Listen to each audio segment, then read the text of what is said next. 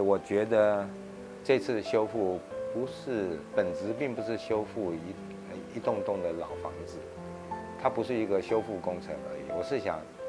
应该是文化记忆的工程，能够修复回来。所以我就说，不同的修复手法发掘魅力，然后同时跟这个过去在发生抗日的一些呃文人志士啊，他的事迹，从这个里面我发现它的价值所在。